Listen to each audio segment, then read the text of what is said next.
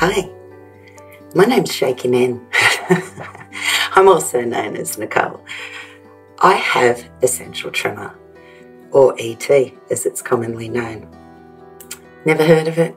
No, that doesn't surprise me. A lot of people haven't heard of essential tremor and they automatically assume that when someone shakes, they have Parkinson's disease, or they can think worse as well.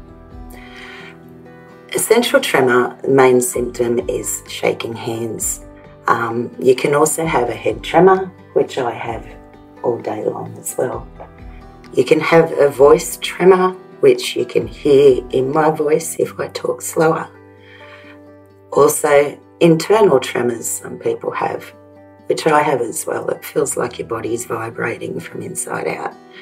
Um, also, whole body tremors where your legs and your whole body go as well, which I have too. So I hope that helps dispel the myth, guys. Not everyone you see that shakes has Parkinson's, um, or worse if you feel that way.